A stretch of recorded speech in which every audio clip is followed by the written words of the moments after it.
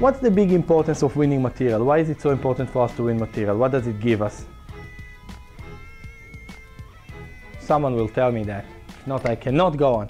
Yes? You have a bigger advantage because they might have less material. Well, they will have less more. They will have less material, right? So you have a bigger army. Do you prefer to be commanding a bigger army or a smaller army? Bigger. Mm, That's the logic, right? You prefer your team to be bigger than the opponent or less. Doesn't matter what sport you're playing. Bigger, right? So that most, most, most basic logic will start applying here. So how are we going to win material? Most basic thing, we are going to capture, right? Yeah, we're not having some rooks or knights or queens dropping from the sky. We're actually going to capture and get more material. This is one thing that is really important. And for that, we discussed several tactical ideas to win material. For example, would a fork be a way to win material? What is a fork? Who can tell me? What's When one, one piece attacks two pieces at the same time. and your main goal is going to be Winning Capture. one piece. winning material. For example, who is the which piece is the one that we see most forks with? There's one specific piece. Knight. Exactly, a knight. A knight. When a knight actually comes, for example, why knight to this square, attacking, checking the king, and attacking the rook. That is one. That is fork. Which other? Heck, which other ideas we have touched last week? Tactical ideas. Which are they? Skewers. Skewers, excellent. Same idea, right? We said it's like the food. We were actually hungry last week. We're, amazingly enough, we're still hungry now. It's lunchtime. But why, why do we mention it? It's just like a skew. There's several pieces lined up on a line or a diagonal, and we have a way to attack them and win material. So, okay, excellent. We have forks, we have sk- skews. What else do we have? Pins. Pins. And do you remember two types of pins? There are two types of pins, right? Yeah. Absolute pin and Normal pin. What is an absolute pin? like when the pin piece cannot move. Why, why can't it move? Let's just show it super duper. If it moves, the king will be in check. Excellent. So this bishop is pinned, right? Yeah. He cannot move, doesn't matter what. If even if he has to take a queen or because the king is just behind it. Let's say this was the position. The bishop is still pinned, can, but can he move? Yes. Would it be smart for him to move? No. but he can. So that's the difference between an absolute pin, you cannot move at all, and just a pin, okay, it's not smart to play that move. Perfect. So what is a discovered check? Like when a piece moves and it puts the opponent in check. Okay, so who can tell me? Someone else. Does white have a good discovered check in this position? Yes. Bishop d4. Excellent move, bishop d4. The rook is checking the king, and the bishop is threatening and you're going to win material. So all those ideas, they're pretty much the main ones. We can think about some smaller ones, but really forks and pins and skewers and discovered checks or discovered attack, they're really going to be our main ideas for winning material. Now, other type of tactical ideas are used to go after the king not to win material. We said the logic is, and in most games, that's really what we see. When you see best players in the world play or decent players, well, it doesn't matter which level, there is no really checkmate, right? I mean, Anand, I don't know how many times, I cannot think even one he really got checkmated. What we do have is that one player is under huge attack, being under a lot, a lot of pressure. In order to get out of the attack, he gives away some material, and then he gets into a position that is down a pawn or a knight or two pawns, something like that, and losing because he's down material. So really, really, really, there is no checkmate in Grandmaster's world, or very, very few checkmates. Grandmasters, world champion, strong players, because they will defend. They will not get checkmate, but in order to defend, they will have to pay material. So that's the important part. We touched last time much more the topic of material. Let's touch the topic of the king this time. Now, we have several ways to attack the king, to checkmate it, right? One of the ways, and this is what we will start doing few puzzles here, Queen takes a is Who can tell me what the topic here will be? Back row checkmate. Perfect. Backward checkmate. Okay, we done our homework. So this is one very, very important idea that we see in endless, endless kids just like you, games and tournaments, endless. One of the players get to have one of his heavy pieces to the back rank, and the black king is, or white king, of course, get checkmated. Before we even touch the move that was played, you know what? Let's first see it. So we want to get our rook into the back rank, and we actually can take the queen, but is taking the queen that in that impressive? No. Well, it's just going to be an exchange, right? It's just going to be an exchange. Queen take queen, pawn take queen. Yes, white did get something. I, I just wonder, this is not our topic, but can someone tell me in principle, what did white gain tiny bit by capturing? Yes? Um, black now has double pawns. Right, and double pawns, it's completely another topic. Double pawns in general are not really bad. They're not really bad, but double isolated pawn, almost always really bad. For example, if this was the position, this, this is not, this is not that much because you have a complex of pawns here that cover a lot of squares. So double pawns by definition, not really bad. I mean, sometimes they can be bad, sometimes they can be actually powerful. But double isolated pawn, right? Isolated means there's nothing on the side, right? They are by themselves. They are almost always very weak. So that was excellent. Double isolated pawn. For example, black pawn can never control this square. He has a big hole over f5. Even the king, tiny weak. But that would not be that much for white. Most likely this game would end up in a draw. But white is still getting exactly the advantage that you mentioned.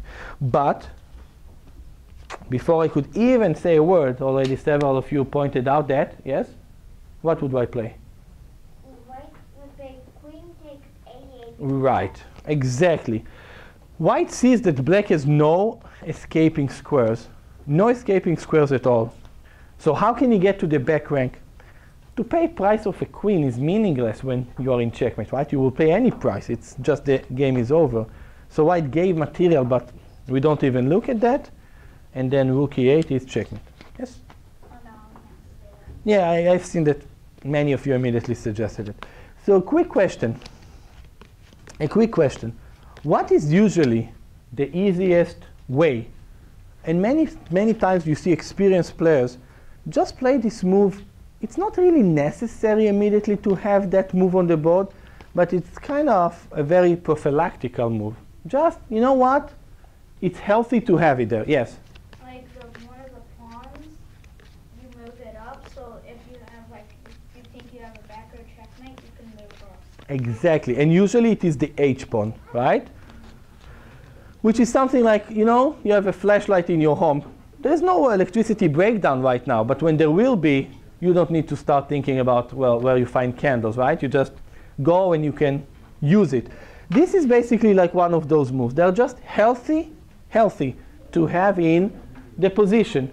You might use it, you might not. Actually, much more than a flashlight that I don't know, maybe once a year you do get problems with electricity. This you get a lot, a lot, a lot. Actually, some of the greatest game moves by great players were played just this quiet, tiny move that at some point in the future, some point there's a very, very famous game between Viktor Korchnoi, that was three times vice world champion, against actually Boris Spassky, that was world champion, and Korchnoi played at some position incredible tiny slow move h3 just so in many moves ahead in a fourth line you will have this possibility to play king h2 and one. it was if i'm not mistaken a game in their match in 1977 so very very correct to this pawn. White is to play? If black to play is his move simple is black's move simple in this position what would black play if it is his move yes Um, he would play G, queen g2. He will play queen g2, right? That's one checkmate. One of the simplest move, ba- extremely basic pattern. That's actually the next topic that we will see after checkmate on the back rank. We will see how to checkmate a king that castled. Just very basic checkmate patterns. So queen g2 is checkmate. Okay. Does white have a way to stop queen g2, first of all? Yes. How?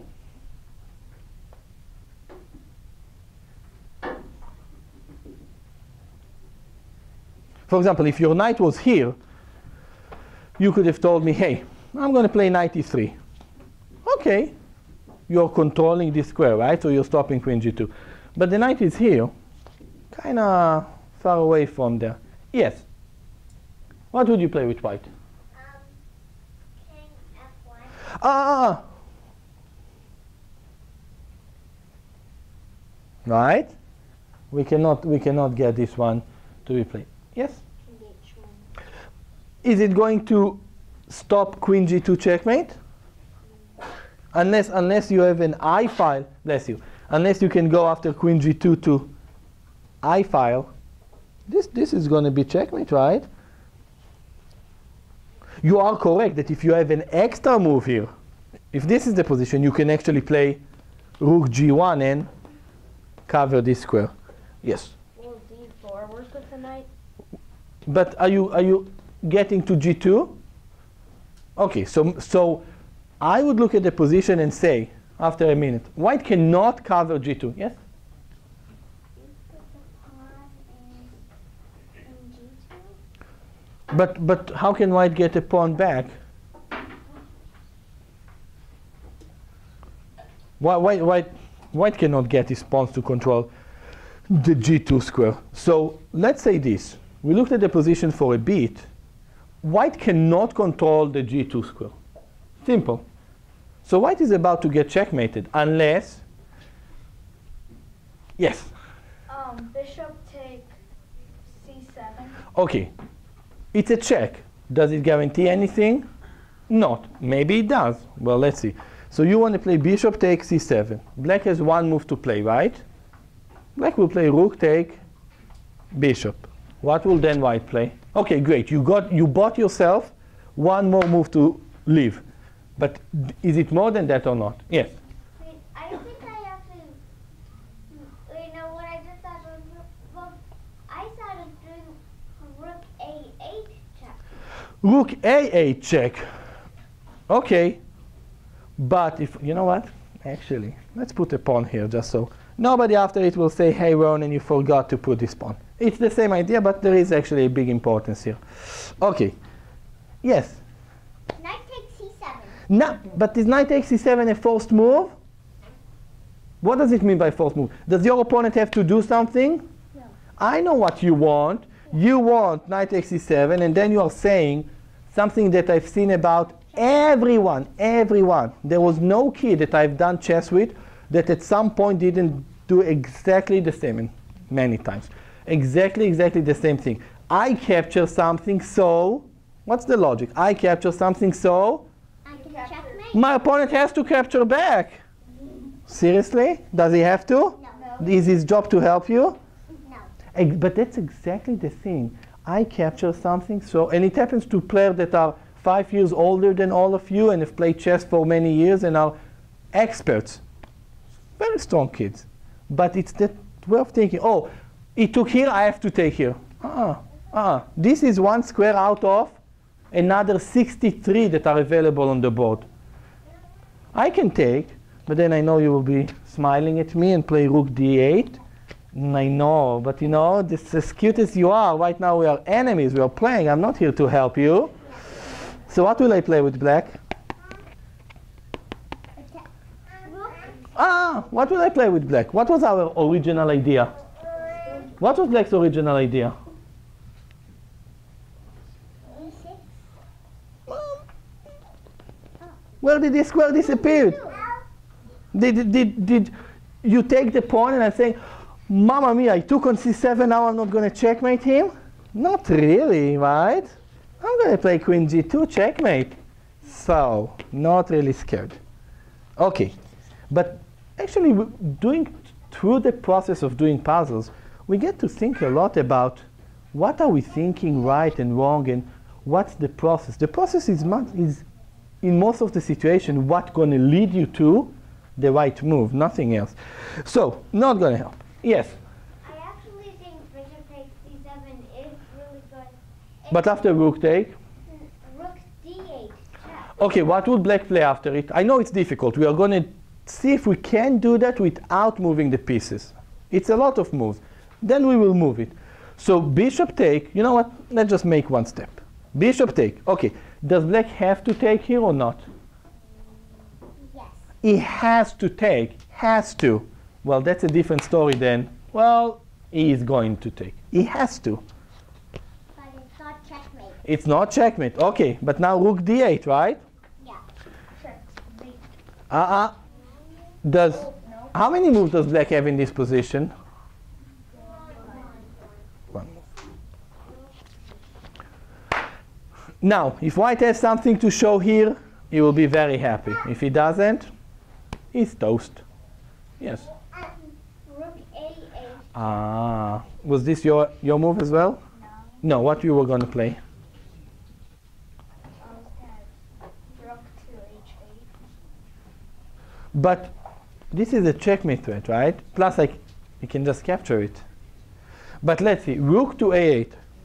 Very good. What is black going to play here? He has to take. Has to take Um, checkmate. and checkmate. Yeah. So we got checkmate on the back rank, only that it involved much, much, much more effort. Right? If you're going to think you are going to have in a game positions, okay, I'm going to do to play the amazing move. I'm going to lift my rook, put it on the back rank, and it's going to be checkmate. Okay, well, that's okay for the first tournament that you will play chess. For the second one, this is for much, much, much higher level. White had to work and he worked four moves, four, involving giving his bishop, then giving the rook, but got black in a checkmate net on the back rank. By the way, we did study something super important actually from this puzzle. I didn't intend it to be. We studied something about forcing moves. They are the most important part when we calculate in chess. Yeah. Why is that? Because if I if he has to play something, is it going to be easier for me to anticipate the future? He has to. Instead of looking and saying, think, I will play this move, then my opponent can play this, this, this, and that. Then I can play this, this, this. Then he can play. We will get so, so many possibilities. This is actually what happens a lot in chess. The maximum that we can narrow how many possibilities we have to calculate. It doesn't mean that it's good for us, but it means that it is easier for us to calculate. This was a straight line. Let's look at it again, and you tell me if it was a straight line or not. By straight line, I mean black had to play every move that he did play. He had to. So, you tell me at what point black had more than one move. White played bishop takes c7. How many moves does black have to play here? How many moves can he play? One, two, one. Everyone agrees on one. White played rook d8. How many moves can black play here? One. One. So we are, we are still in a straight line. By straight line, I mean I walk, walk, walk. I don't need to make any turn, right? There are no two possibilities. One major possibilities. Okay. White played rook a8. How many moves can black play here? One. So I continue my straight line. It's very easy, very, very easy to see. Well, much easier, let's use that term. Much easier to see straight, distance, no trees, nothing bother you, no turns, no curves than anything else. And that's it. So from this puzzle actually we touch this, bless you, we touch this super important topic of forcing move. White to play here. First of all, is black threatening checkmate? Yes. Yes. Where is black threatening checkmate? Actually on two squares, right?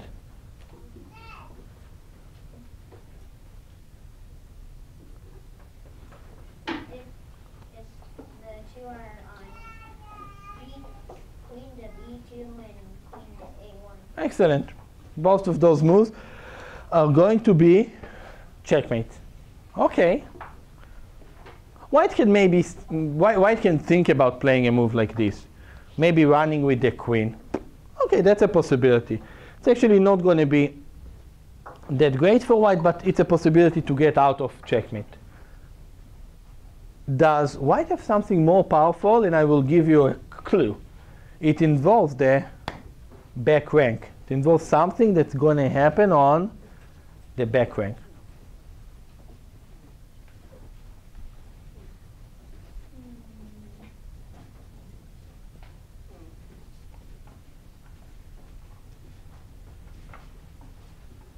Yes? Queen to C1. King to c1? Yeah. We said this is a decent move to get out of checkmate. But I want more. Well, white would be worse in this position. He'd probably be losing. But it's, you're correct. It's a way to get out of checkmate. Agree. I want more for white. Yes? Queen to A3. Queen to a3 actually will protect against queen b2 checkmate. But we mentioned that there are two checkmates that black is threatening. One is queen b2 and the other one is Queen A1. queen a1 and queen a3 is not going to cover the a1 square. Yes? Queen takes C8. White will play queen. Okay, so you're giving your queen for a rook. When you give your queen for a rook, you better have something to show for it, right? Do you think you have something to show for it? Yes. Okay, let's see what you have. So you're going to take. Okay. And. Okay, I'm going to take. Well, you started, so you have to finish. What now? A6. Bishop a6. By the way, le- let's do it right here, step by step. So after we played queen take, how many moves does black have here? How many league? One move. One. Uno. One move. And you want to play bishop a6 check. How many moves does black have here? One. One. Which one? King b8. King b8. And now you're going to play with white? Rook D8 checkmate. Excellent job. And once again, our straight line, making it much easier for us to calculate, right? We have to see the idea, which is not easy, and especially starting with a combination that gives away our queen, just by instinct, is not something that we should, well, think about giving away material. But excellent job. Black king is left defenseless on the back rank. Okay, this was one idea involving the back rank. Actually, this was very forcing idea and uh, just winning the game. Other ideas will be going after the king, and we are going from I think some the things that are most practical ones. This is what I want to touch today. Maybe next week we will touch some other ideas and just some calculations, principles. Let's look at this position. We are going to touch something that we will continue. We will continue next week. So whoever going to show up next week, we will continue from this point. Let's look at this position. You know what? And we'll be super fair. So, what's the material advantage in this position? Material, uh, material situation, sorry. Or does one side have material advantage or not? Yes? Black has one bishop, and white doesn't have any bishops. But white has in return? But what does white have in return for the bishop? Um, two knights. How, how, do we, how do we calculate material? When you look at a position, when you look at a position, and someone asks you, like me, hey, who has more material? What's the, the right way to do that? Yes. It is even a material overall. It's even material, but the easiest, Overall, but has a material advantage on the king side. yes, but, but if we look overall, and actually how should we do it in the easiest way? Just like when we see a number written, okay, we will start by looking at the high pieces. So white has a queen, black has a queen, right? Are they even? We start always with the high pieces. It makes it much easier. White has two rooks, black has two rooks. We don't need to count it. We know that both sides are equal, right? So we can throw it away. White has a knight, black has a knight. Black has a bishop, and white has a knight. So really when you want, and let's just complete it, white has five pawns and black has five pawns. So the material is equal with the slight indifference that black has a bishop and white has a knight. And overall, totally equal material. Everything else is just the same. Like you have an equation, everything same, same, same, same. Finally, you have two last parts that are there. Okay, so equal material. Both kings have castled, and that's going to be the topic that we will start a bit now, and just take it immediately from there next week. Playing against the castle king. I will let you think for a minute. Maybe you can come up and tell me which idea white has in this position.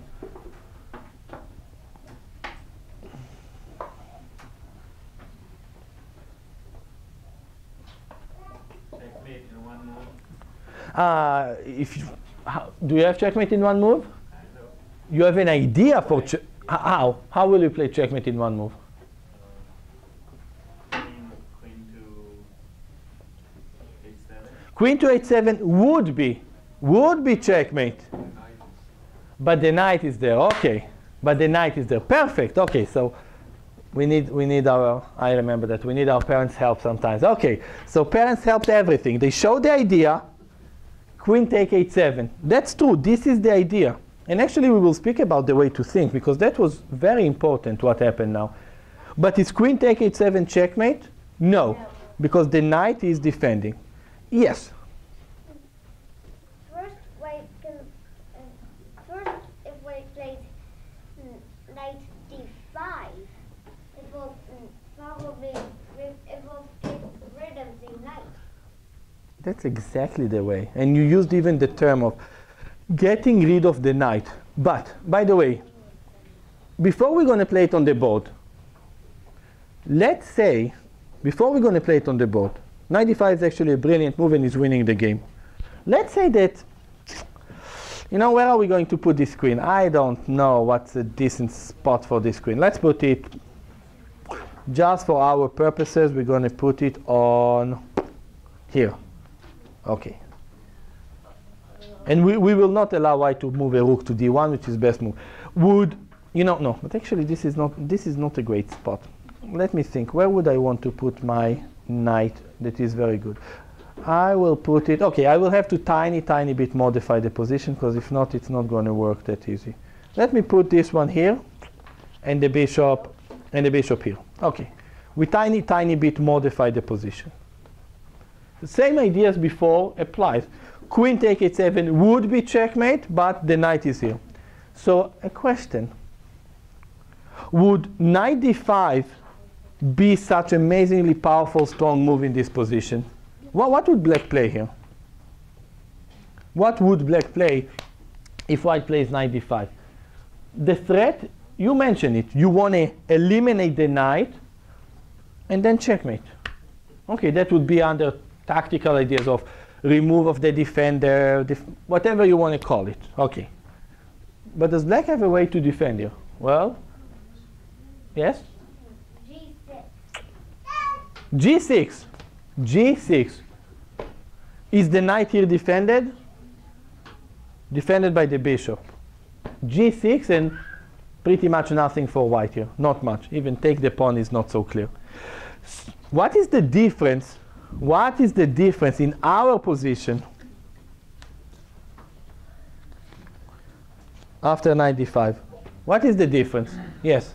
Right now, the black queen is being attacked. Remember what we said 20 minutes ago, 30 minutes ago. What did we say? How many games does Grandmaster lose by getting checkmated? Very few. But when the material difference is becoming that big, well, the game is over. For example, everyone, every decent player that has played enough would resign here. Why?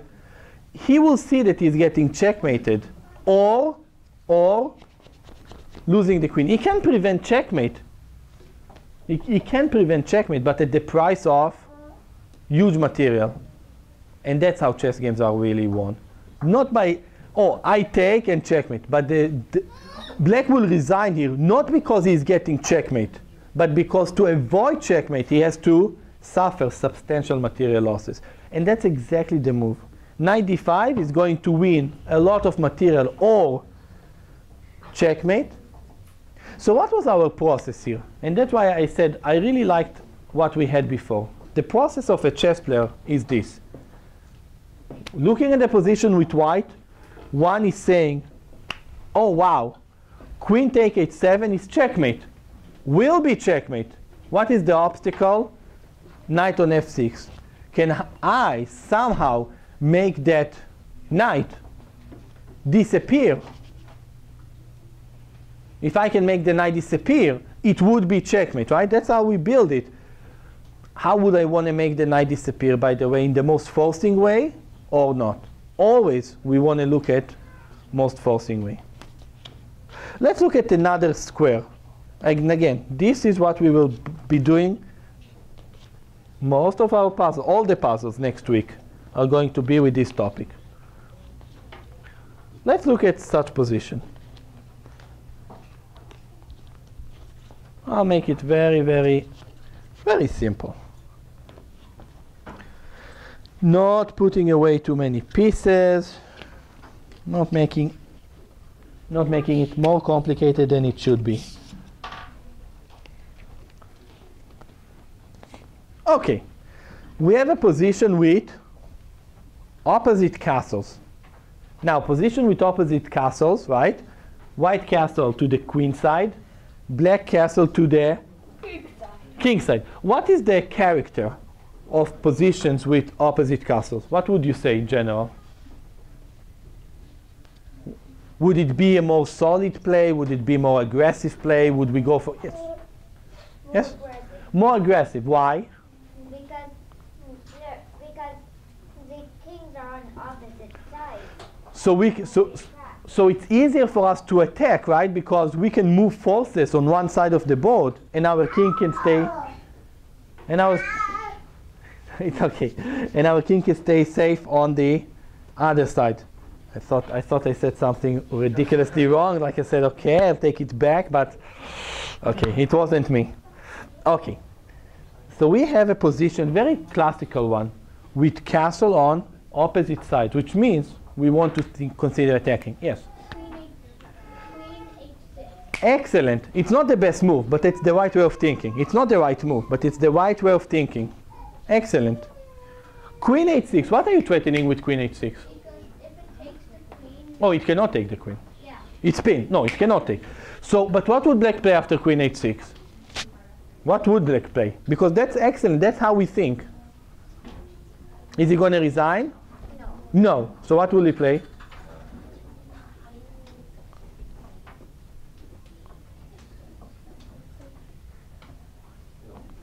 Well, what is the threat after queen h6? I, I want to put it without moving the pieces. What is the threat after queen h6? Taking. Huh? Checkmate. Queen take g7 checkmate. Okay, so how is black gonna prevent it?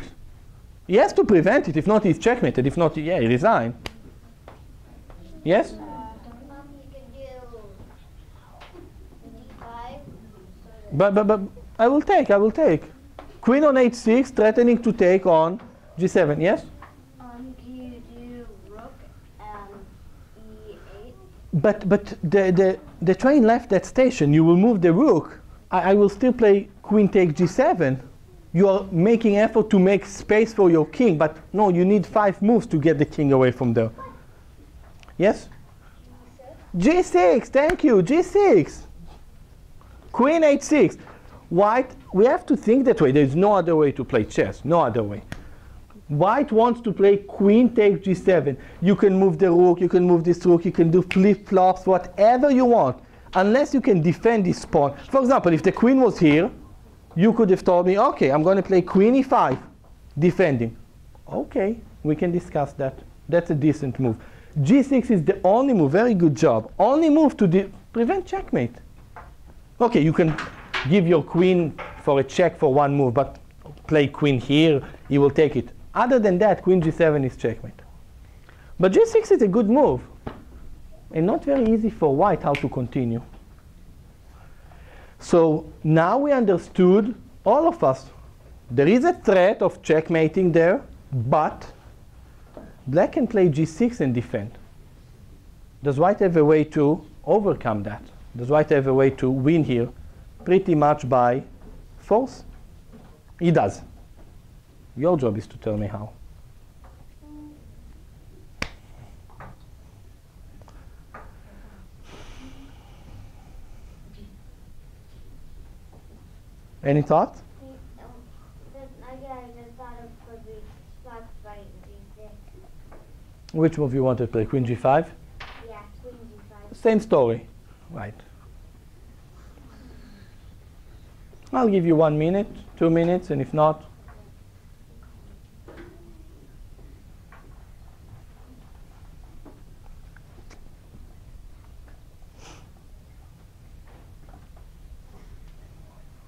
Rook takes G7 check. Okay, let's start with it. Excellent job. Very good. Check.